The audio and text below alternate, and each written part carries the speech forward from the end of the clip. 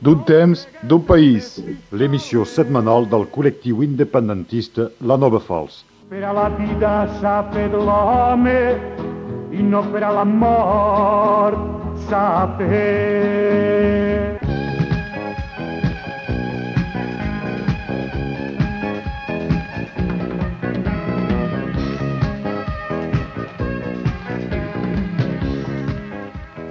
Ha arribat l'hora de l'emissió de l'equip de la Nova Fals d'un temps d'un país.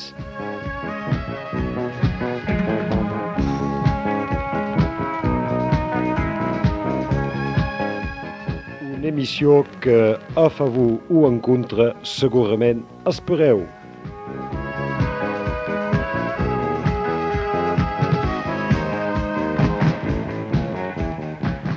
L'emissió que us presenta notícies del país, notícies d'un poc a tot arreu, notícies que no trapareu enlloc, sinó a l'emissió de la Nova Fals.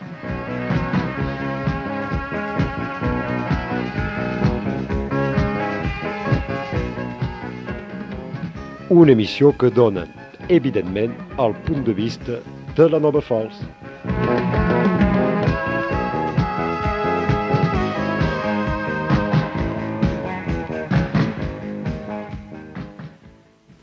El segur Congrés Internacional de la Llengua Catalana, pel que fa a les sessions de Perpinyà, és acabat. Encara que durant tot l'any el Congrés continuarà, ara és l'hora de traçar un primer bilà del que ha significat aquest Congrés. Nosaltres considerem que ha estat globalment positiu per Catalunya Nord. L'aspecte més important considerem que és el de la promoció social de la llengua, el de la lluita contra els complexes lingüístics de la gent de casa nostra. I en aquest terreny s'ha donat un petit pas endavant, sense llençar les campanes al vol, naturalment, però entre les exposicions de noves tecnologies en català que han estat força visitades i la informació exterior a l'independent, alguna cosa haurà quedat en el subconscient de la gent. Sorpresa ha estat el llenguatge o el llenguatge utilitzat per als elegits. Ja sabem que aquests són gent que diuen el que cal a cada lloc, però sempre és sorprenent veure gent com en fa i en Marquès fent declaracions de catalanisme. Igualment, el president del Consell General, en Malé, present tres vegades al Palau, està en la mateixa línia que hem dit. Promoció social del català, l'aspecte més positiu. Però no tots són alegries a la casa del pobre. En general, val a dir que la gent del sud ignora bastant a la gent del nord, i això es va notar una vegada més, com es nota cada any a la Universitat Catalana d'Estiu. I també poca participació de la gent de Catalunya Nord als debats. Una crítica i una autocrítica que hem de fer perquè els nords catalans no estem habituats a intervenir en aquests actes, i això és greu. Un altre aspecte a constatar són les poques associacions que han realment treballat en la preparació i la realització d'aquest congrés. Un esforç més important de les associacions s'hauria traduït en més gent al Palau dels Congressos i un efecte més gran en la promoció del català. Ara bé, hi ha les associacions que hi han participat, les que no hi han participat i les parasitaris. Sabeu què és un paràsit? Un paràsit és una cosa que viu a costa dels altres, sense fer res i a més emprenyant. Doncs bé, també hi ha hagut paràsits, com alguna associació que sense fer res ha col·locat propaganda a les carpetes dels congressistes, o com un personatge sense importància que l'única cosa que ha sabut fer és en l'acte final córrer a seure als costats del president del Consell General per a sortir a la foto de l'independent.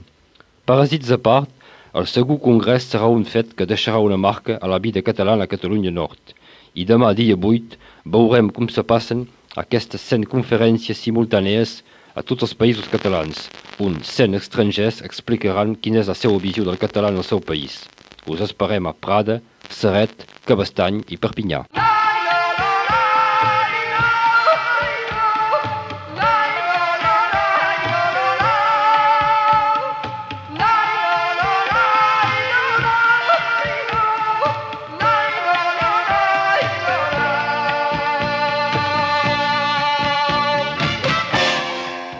Continuarem, continuarem parlant del segon Congrés Internacional de la Llengua Catalana, ja que va ocupar l'actualitat de Catalunya Nord durant 4 o 5 dies i encara és pas acabat, ja que ho sabeu, l'hem anunciat demà a 9 hores de nit. Hi ha quatre conferències a Catalunya Nord, entre les 100 que hi haurà a tot arreu dels països catalans. I us aconsellem, naturalment, d'anar a participar en aquestes conferències que són donades per universitaris vinguts de tot arreu del món i per aquí a Catalunya Nord, si me recordi ben bé, n'hi ha d'Itàlia, n'hi ha de Gran Bretanya, n'hi ha dels Estats Units i Alemanya, em sembla, si me recordi, a verificar. Parlarem doncs del Congrés i el Congrés que ha marcat durant quatre dies la vida cultural eh, nord-catalana. El Palau, el Palau dels Congressos a Perpinyà, per exemple, ha estat eh, gairebé totalment ocupat per les activitats d'aquest segon congrés. Doncs podem dir que el Palau dels Congressos ha estat catalanitzat durant tres dies. I era una cosa a veure, de veure totes les banderes catalanes a la façana, ni una de francesa, evidentment, i a dintre tota l'animació que hi havia, les, les exposicions, eh, la gent que venia a visitar, eh, els estudis de ràdio i de televisió, tot això en català, evidentment. Fins i tot la cafeteria era catalanitzada, ja que probablement per primera vegada en aquest Palau dels Congressos els menús de la cafeteria eren integralment escrits en català i que a més no eren dolents, eren ben catalans també. Hem notat particularment que el personal del Palau dels Congressos, a gran majoria, era gent catalana i que al cap i un moment d'una mena de timidesa, timidesa deguda probablement en aquest complex que tenim nosaltres d'aquí de cara a la gent del sud, doncs que al cap d'un moment s'han posat a parlar català i que fins i tot es van regalar de parlar català tot el dia, de parlar català de coses eh, normals, de, del menjar, d'indicar direccions, eh, de donar ressenyes diverses fins la gent del nord en aquest nivell no, no, ha, no ha donat vergonya als catalans, al conjunt dels catalans, ja que han mostrat que el català era aquí també una llengua ben utilitzada, ben viva i no pas únicament una llengua d'intel·lectuals.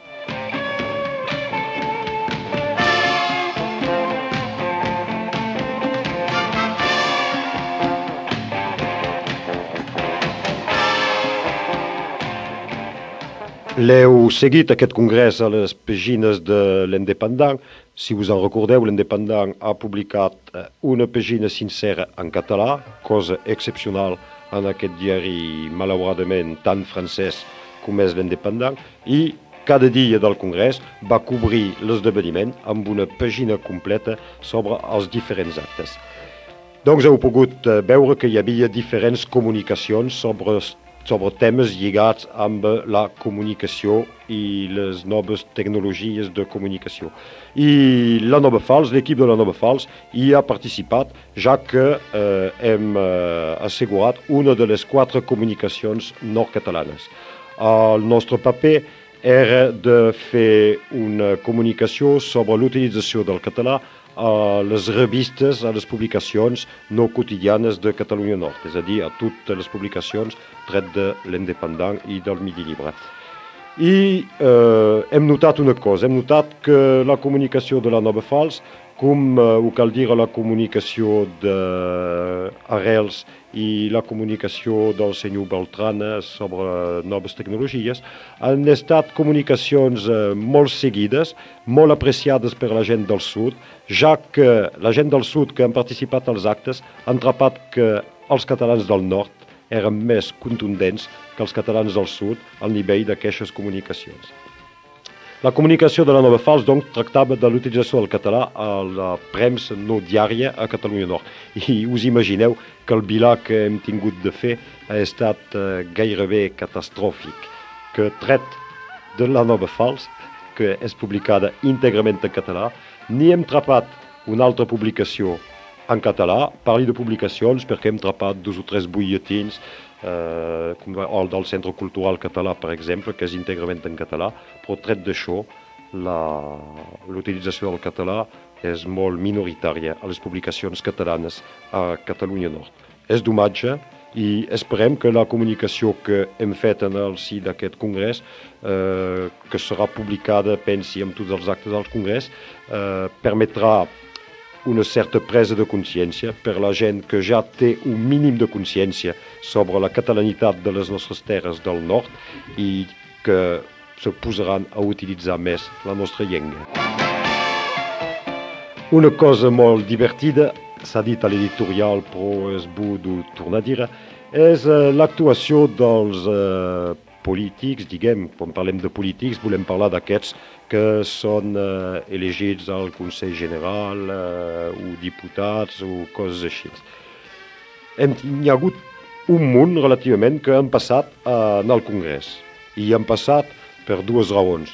La primera per oportunisme, ja que per ells sempre és bo de. La segona perquè, malgrat tot, el Congrés ha despertat un cert interès de cara al català, perquè un dels els objectius del Congrés era de saia al català d'aquesta visió que en tenim molt sovint aquí d'una llengua de vells, d'una llengua de folklore, d'una llengua de tradició. I s'ha notat que al si d'aquest Congrés, i tot particularment als actes de Perpinyà, on el Congrés era lligat amb les noves tecnologies de comunicació, el català era una llengua molt adequada per parlar de totes les coses modernes. Doncs aquí hem vist els nostres, els vostres, els seus polítics venir al Congrés i prendre la paraula en català fins i tot, en català i per alguns en un català perfecte. Vull esmentar tot particularment el discurs del senyor Fa, que és pas un dels meus amics, ni políticament ni res, però que va presentar l'aperitiu ofert per l'Ajuntament de Perpinyà al Congrés en un català del nord fantàstic, meravellós, això ho cal reconèixer. La variant dialectal del nord, quan és ben parlada, val totes les altres variants dialectals de tots els altres països catalans. Però, més enllà d'aquest català parlat, era el contingut del discurs dels polítics. Tots han parlat de Catalunya Nord, de Catalunya Sud, i de països catalans, i de mateix poble. Han pas gosat parlar encara de mateixa nació, però era gairebé sotentès. I el que trapem positiu aquí és que quan aquesta gent parla així, ja que ella és gent seriosa per oposició gent com nosaltres, que tenim encara una reputació de ser una mica bojos, ho cal dir, i en sem prou conscients, doncs de sentir parlar gent així com parlem nosaltres, ens dona tota la raó, un, i ens dona, naturalment, un poc més de credibilitat, perquè podran pas dir més en els carrers o als nostres enemics ah, són aquests quatre bojos de la Nova Fals o d'altres que parlen de Catalunya Nord i Catalunya Sud, Ara, el Malé parla de Catalunya Nord, Catalunya Sud, Països Catalans. El Marquès parla de Catalunya Nord, Catalunya Sud, Països Catalans. I el Fa parla de Catalunya Nord, Catalunya Sud, Països Catalans. I això probablement no agradarà a alguns que se pretenen nacionalistes i que ells rebutgen Països Catalans, Catalunya Nord i Catalunya Sud i que nos fiquen de Catalunya del Nord i Catalunya senzillament per designar el conjunt de les terres catalanes. Veiem si tindran pas una lliçó, una lliçó d'aquests polítics francesos.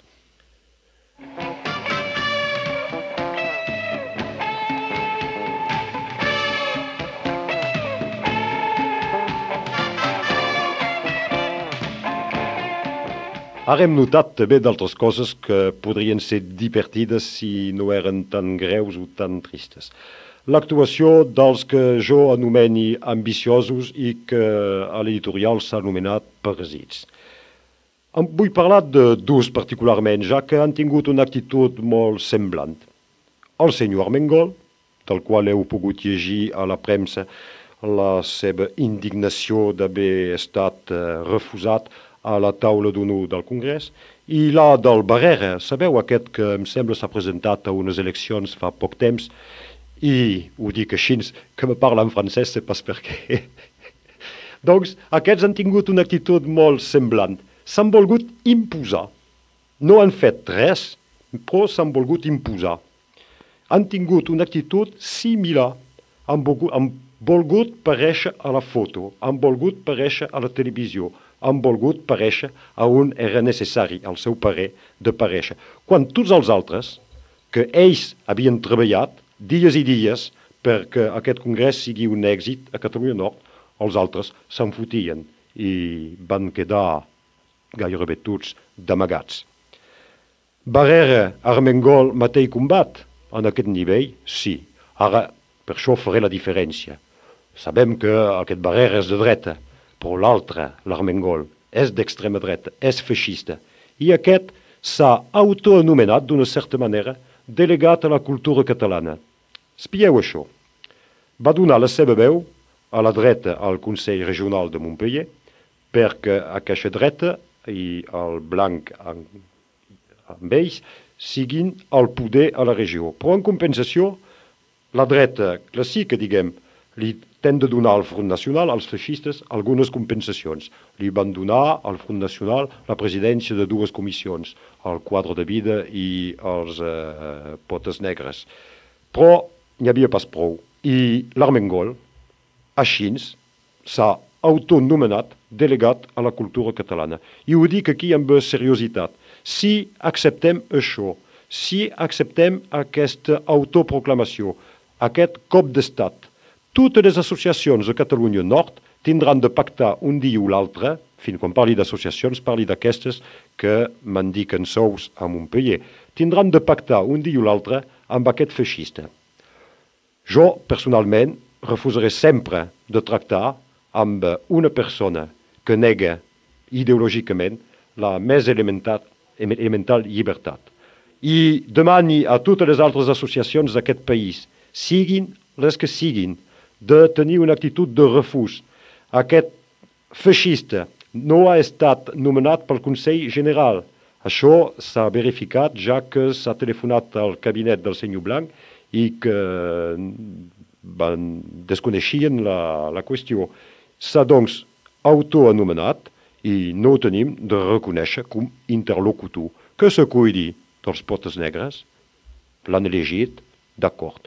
Que se cuidi del quadre de vida, això és encara altra cosa, però el nostre quadre de vida és avui dia tan fotut que sé pas qui podrà fer.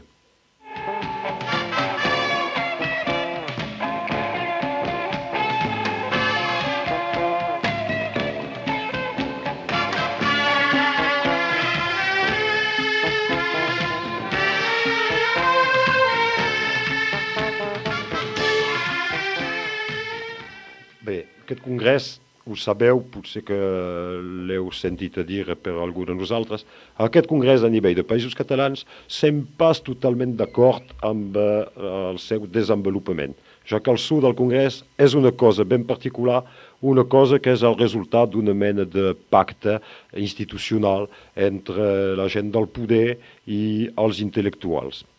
Al nord, el congrés era totalment diferent al nord, el congrés era gairebé una necessitat. I és per això que hi hem participat al nord, quan la Nova Fals, al sud, és en contra del segon congrés internacional. Se pot semblar una contradicció, però no n'és una, és únicament una adaptació a dues realitats polítiques diferents, polítiques i culturals diferents, la dels països catalans al sud i la de Catalunya Nord.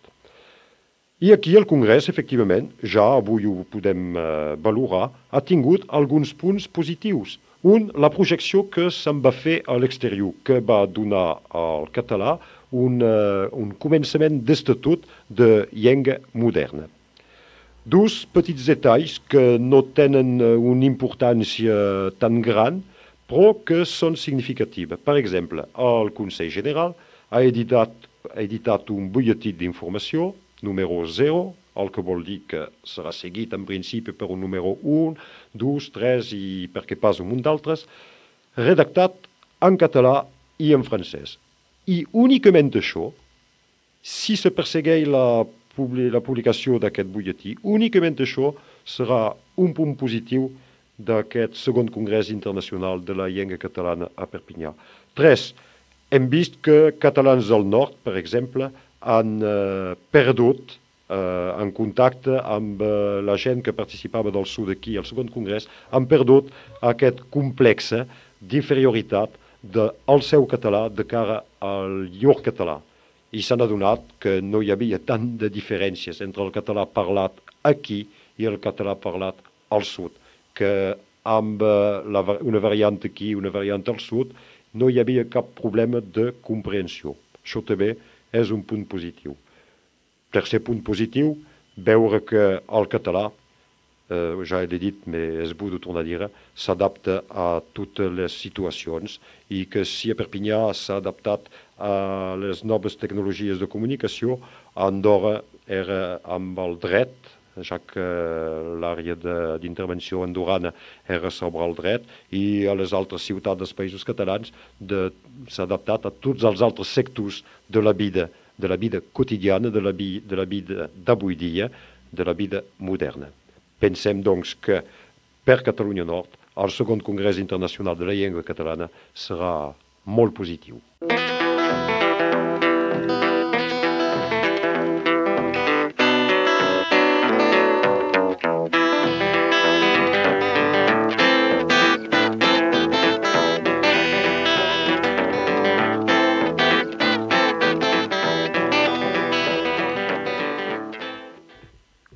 Que el nostre poeta té l'esperit de contradicció, ens parlarà i també del segon congrés i ens parlarà en aquest nivell de la perdua de la nostra llengua. Sí, sí, sí, sí, sí. La llengua catalana és ben perduda.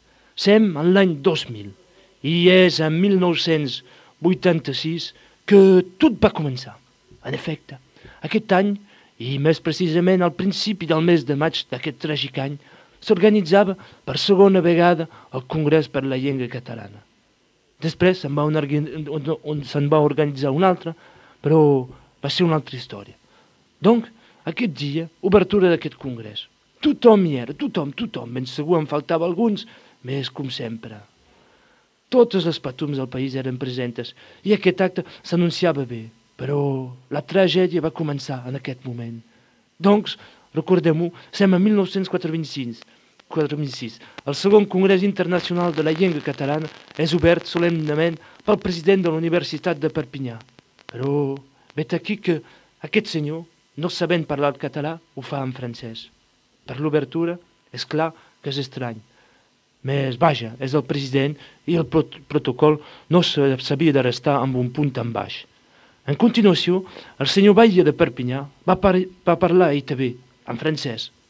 Recordem que som al segon congrés de la llengua catalana i el representant de la comarca cuidora, diguem-li senzillament Catalunya Nord, dins de là, evidentment, va ell també parlar en francès. I la cosa continuava, normal. Per cert, a alguns els hi semblava estrany això, però tots es deien que era un problema de protocol. El primer representant sud-català, fent uns esforços molt importants, va arribar tan bé que mal a fer el seu Parlament en francès. Un altre, de Barcelona, que havia fet estudi a París, no li va plantejar cap problema i la cosa anava seguint el seu rotllo amb, per tant, un ambient estrany. Sí, sí, sí, un aire d'un món que no era veritablement a la seva plaça, amb la terrible impressió que quelcom se feia que no s'havia de fer i que se passava a costat de la placa. Més en fi, tot continuava relativament normal. Fi, vull dir relativament, perquè la gent del sud no tots dominaven el francès. L'últim intervenent del sud, ell, no sabia el francès i tot senzillament, molt naturalment, ho va fer en castellà, el seu discurs. És molt més tard que van comprendre que la relliscada havia estat fatal per la llengua i, finalment, al curs del congrés següent, tots els participants hi van venir parlant anglès per més de comoditat. Vet aquí com en 1946 el descarrilament ha arribat. Com que, sempre, s'ha de fer apurit a les coses quan s'engeguen. És un moment molt important i particularment dur per l'història de, diguem tot senzillament, dels països catalans.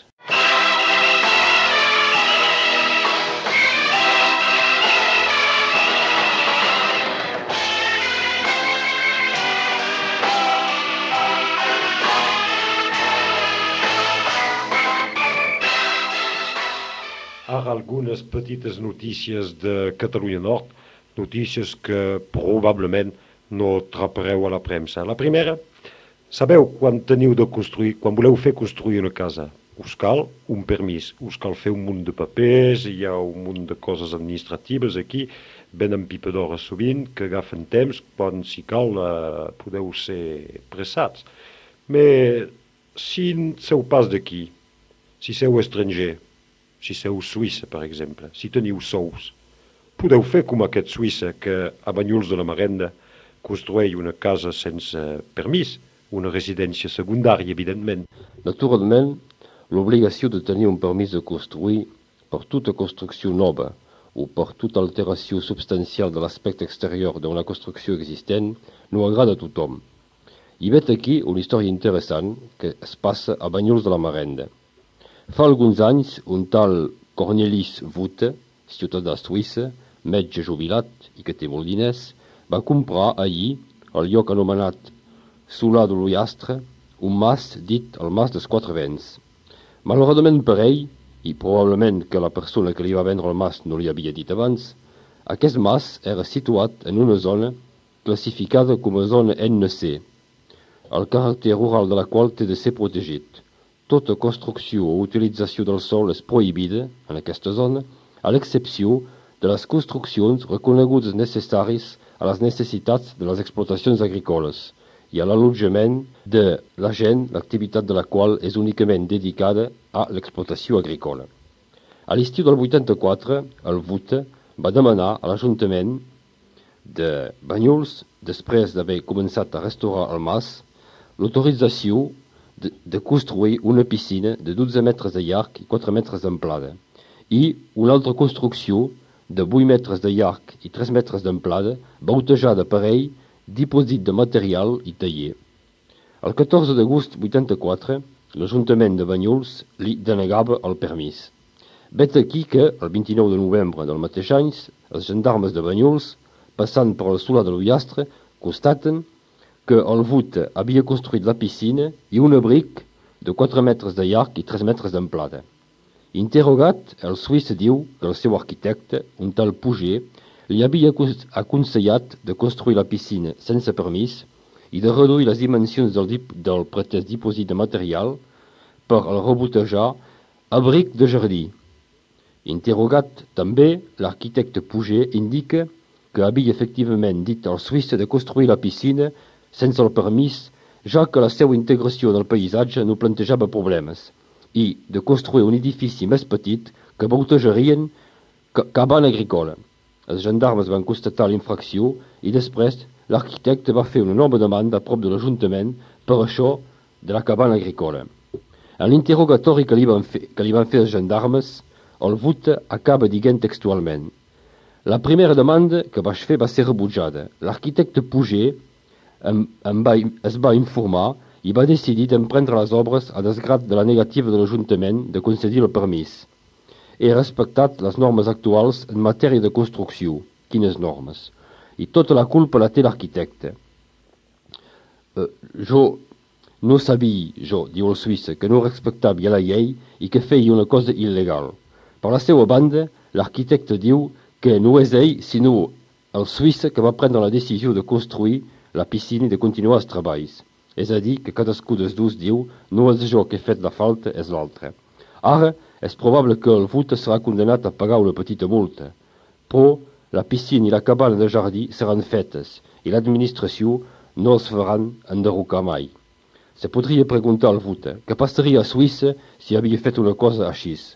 Li ordonarien de l'enderrocar immediatament i potser que li clava, clavarien una multa fortíssima.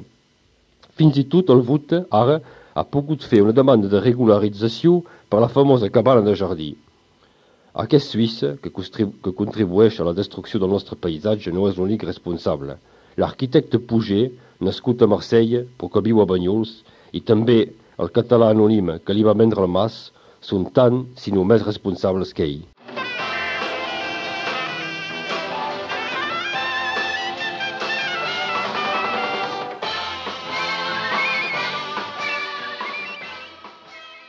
Al Conflent, com a tot arreu del nostre pobre país, sabeu que l'economia principal és el turisme, malauradament.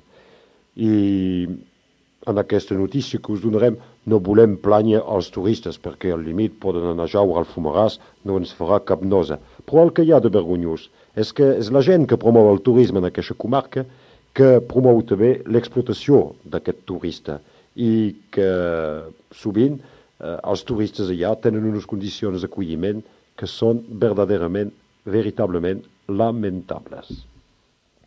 Ja vos havia parlat en l'emissió precedent dels resultats d'una enquesta que el sindicat d'iniciativa de Prada havia fet a propòsit de l'albergatge dels turistes al Conflent. L'enquesta en qüestió tenia la forma d'un qüestionari i que concernia tres punts, l'acolliment, el confort i els apats en els hostals i restaurants de la comarca. Es podien portar tres tipus d'apreciacions, bu, mitjà o mediocre. I hi havia també un espai en el qüestionari per recollir les subjeccions eventuals dels turistes. Aquesta possibilitat ha sigut àmpliament utilitzada, després de que ratlles en forma de fletxes acerades hagin rabiosament barat la majoria de les mencions bo i subratllat un gran nombre de mencions mediocre. Respecte a les observacions, no deixen cap dubte respecte a l'opinió que els turistes tenen del Conflent. Si el Conflent els, hi, els, si el Conflent els hi agrada, a causa dels seus paisatges i del seu clima, per l'acolliment no és la mateixa cosa. Acolliment nul, preus prohibitius. Els horaris dels apats no corresponen als horaris de les persones en vacances. En els apartaments llogats falta sempre plats i beires. Els llits són bruts. Els restaurants no vos volen servir després de les set i mitja de la tarda. Les dutxes no funcionen, no hi ha calefacció quan les nits són encara fresques. Els apartaments són bruts. Els preus són abusius. Vist l'estat dels llocs, demanen 5.000 francs per al mes d'agost per una cuina i dos cambres. El Festival de Música del Conflent és d'un alt nivell, però el confort de l'acolliment és lamentable. El somriure manca sempre. Després dels concerts de la nit no hi ha cap possibilitat de menjar.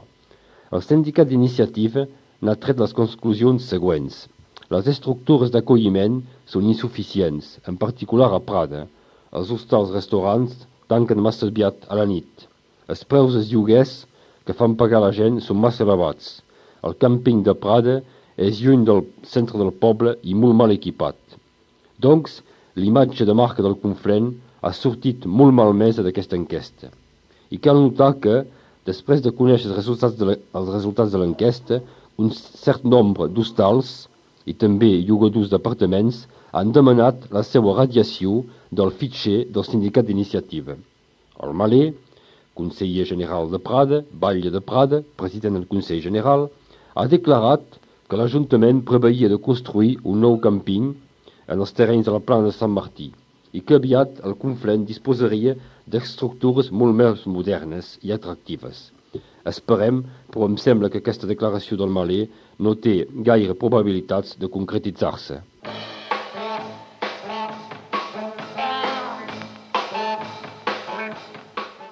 Parlarem un poc de les comunicacions eh, entre el nord i el sud. Ja en parlem sovint, l'altre cop us hem parlat de la ruta entre Costuges i Massanet de Cabreny, si no m'enganyi, i se parla un munt de, del camí de ferro que se posaria l'amplada europea eh, fins a Barcelona, fins, gairebé cada dia hi ha una petita informació que cau sobre aquestes comunicacions entre el nord i el sud.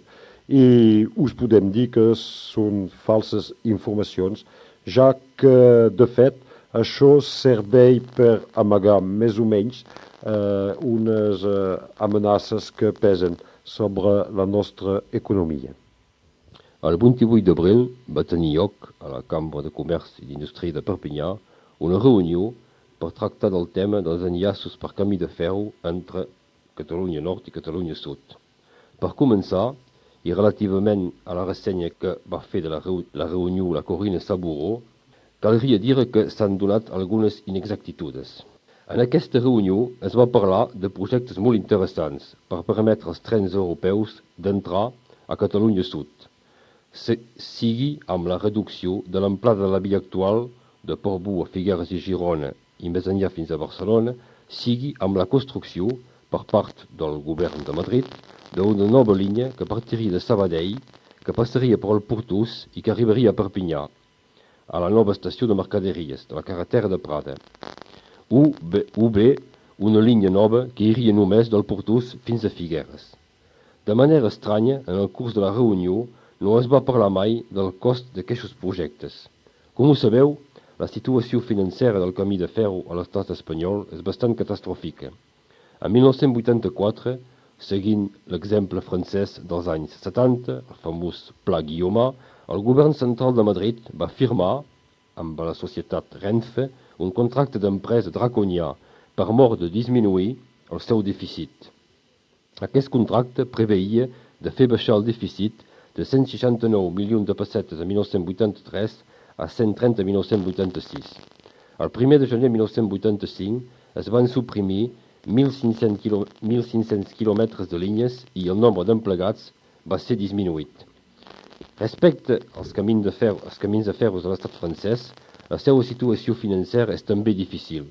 La construcció del tren a gran velocitat atlàntic, el programa d'electrificació de la Bretanya, el programa d'electrificació de la regió de la Maurienne, que és previst de cara als Jocs Olímpics, han exaurit les reserves financeres de la, de la SNCF.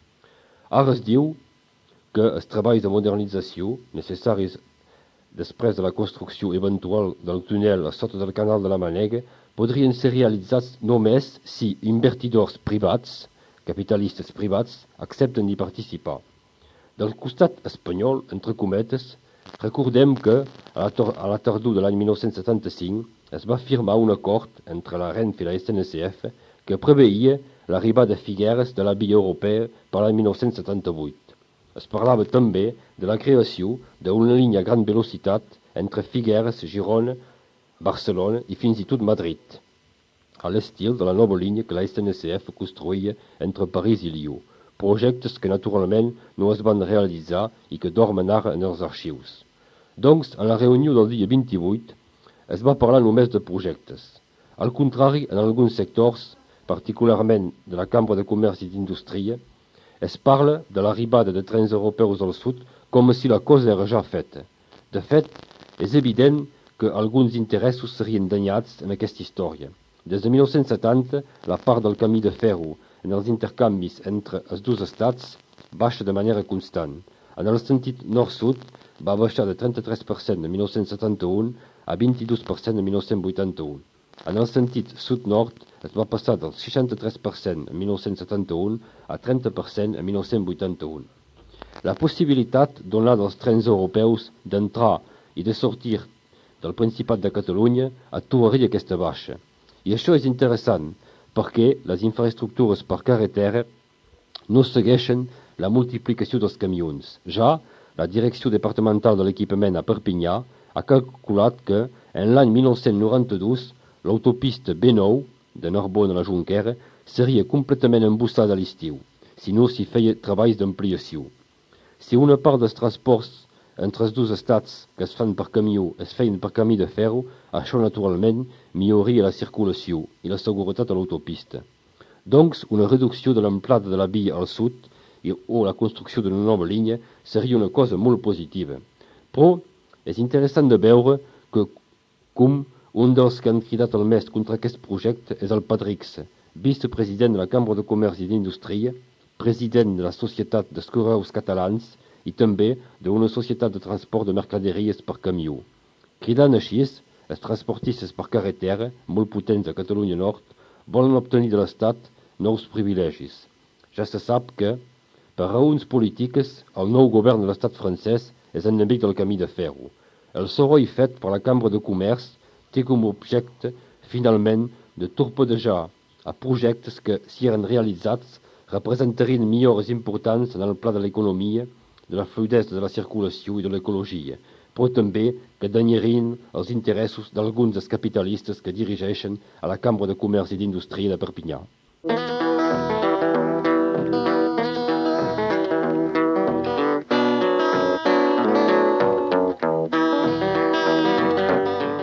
Una visió del poeta sobre com voten a l'Assemblea Nacional francesa, evidentment. C'est pas si vous imagineu, colla de cloportes, que beneficieu de la paraula, que fa anys i panys que al Palau Bourbon els que són diputats fan el que volen, que és la merda institucionalitzada beneïda per tots els governs que se fan i se desfan al ritme alegre del contrapunt. I veu, cada cop que voten diputats, eh, cada cop que voteu diputats, Voteu grans mainatges que se diverteixen frenèticament a la mesura de les lleis a votar. Lleis que, fa, que, van, eh, que fan la vostra vida. Ué, ué, ué, ué. I això, sabeu qui l'ha descobert?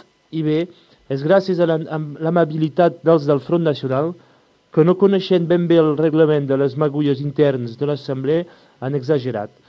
Se'n diu la posició de la tortuga. En efecte, quan s'ha de votar... Espereu, aquí he de fer una precisió important. Bé, voteu. Ja d'una, eh, i aquí vos feu sistemàticament enredar.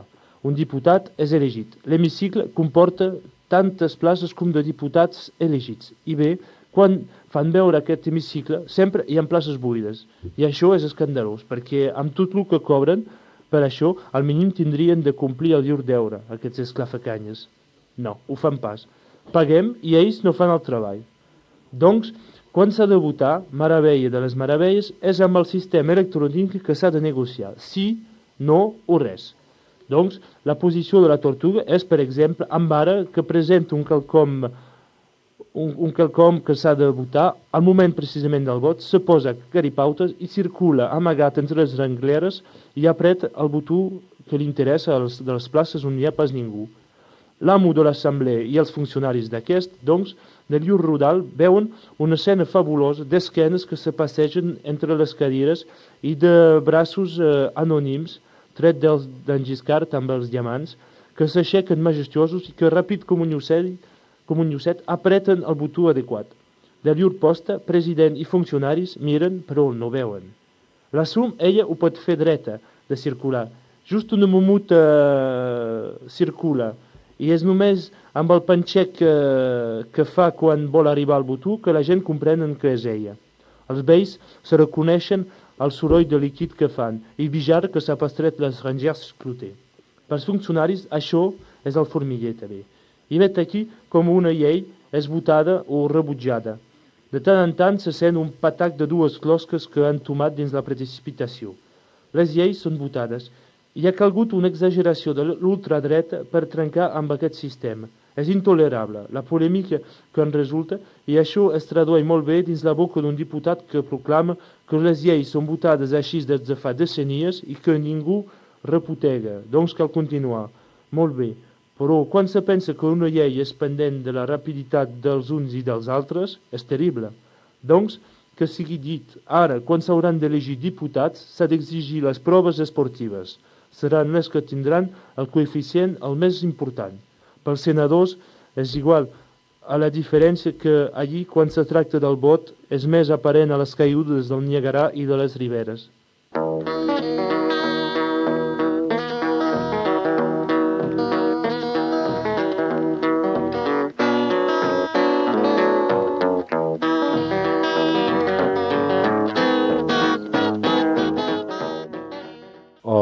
Català d'adopció, que sempre acaba aquesta emissió, ens eh, indica que en aquest segon congrés internacional de la llengua catalana hi ha hagut eh, punts positius i punts negatius. S'ha acabat el congrés. S'ha acabat el congrés? Sí, s'ha acabat, eh? D'acord, s'ha acabat el congrés. Un congrés marcat, entre altres coses, pel reformisme, però també per l'intel·lectualisme i el notabilisme. Car notareu que el notabilisme és sempre el corolari de l'intel·lectualisme. És una simple qüestió de cronologia. Coneixeu l'acudit, qui roba un ou, roba un bou. Per tant, es podria dir qui fa intel·lectualisme un dia es voldrà notable s'entén el sentit burgès.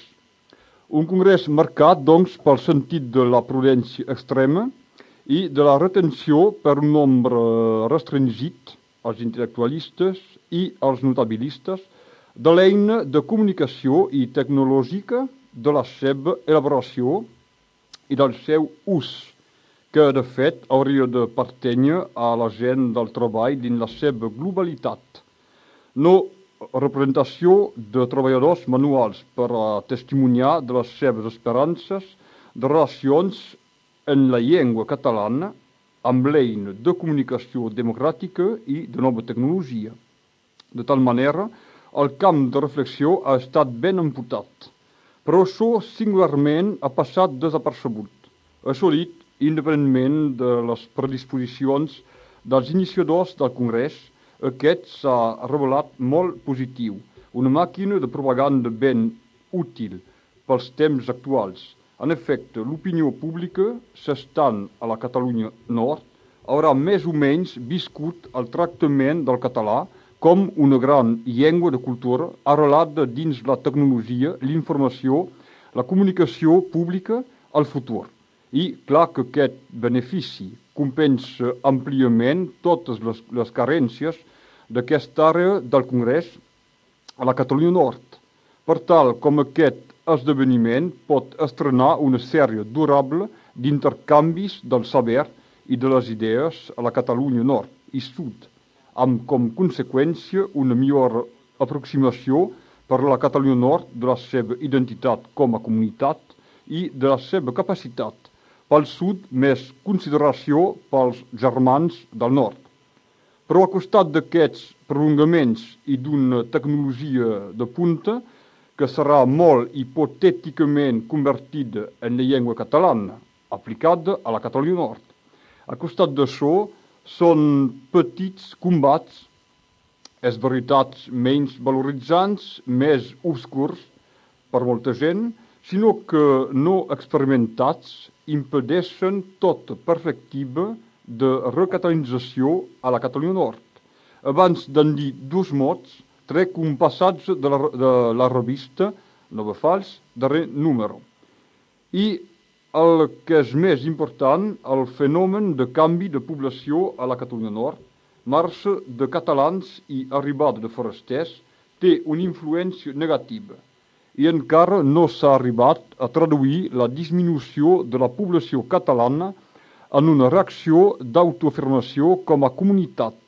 El dia que sapiguem catalitzar, i no catalanitzar, eh, que sapiguem catalitzar aquest fenomen d'extinció dels catalans a la Catalunya Nord, que s'arribi a comprendre al carrer aquest problema, aquest problema ens podrem plantejar una acció col·lectiva electoral seriosa. Eh, en això cal treballar. Fi de la citació.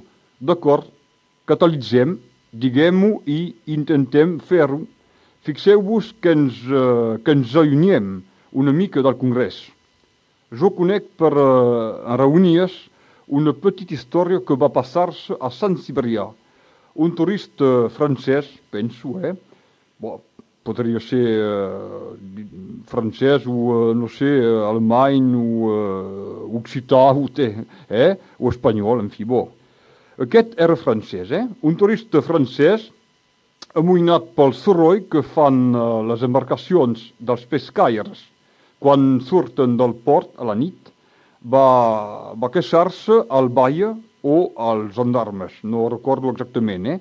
Va queixar-se que les embarcacions dels pescaires l'impedien de dormir, de descansar-se mentre que ell era aquí com a estiusant, dins una estació balneària feta pels turistes, doncs. A més, aquesta gent paga i diuen que fan viure la regió. El, els pescaires del país els hi qued d'exiliar-se, intentar atrapar un lloc acollent i sense turistes. Llavors, faig la pregunta de saber si una explotació va ser feta d'aquest esdeveniment, petit però significatiu, i quantes vegades reproduït. El món del nacionalisme català tanmateix disposa d'emissions de ràdio, disposa de publicacions diverses, disposa de l'utilització del full en qualsevol indret, en qualsevol moment. Disposa del telèfon àrab, igualment. I doncs, i encara no s'ha arribat a traduir la disminució de la població catalana en una reacció d'autoafirmació com a comunitat. I amb raó, i amb raó, quan arribim a interessar-nos a tots els casos de la colonització, quan arribim a tenir la voluntat de sensibilitzar els catalans a tots els casos dependents de la colonització, pot ser, sí, s'autoafirmaran com a comunitat, és a dir, que es, que es voldran més catalans, pot ser sí que el Congrés serà més que una vaga promesa de futur català al nord. Un temps que serà el nostre un país que mai no fet. Cante les esperances i plore la poca fe. Amb aquestes consideracions eh, sobre el segon congrés, del qual s'ha un munt parlat en aquesta emissió d'un temps un país, us deixem, us deixem eh, espiar, si ho voleu, el partit eh, Barça contra, sé pas quin... Eh, el Barça, doncs, que guanyarà segurament. Us donem cita dimecres vinent a 7 hores un quart per una nova emissió d'un temps d'un país. Bona nit. És un poc nostre, d'un país que ja n'hem fet. Cante les esperances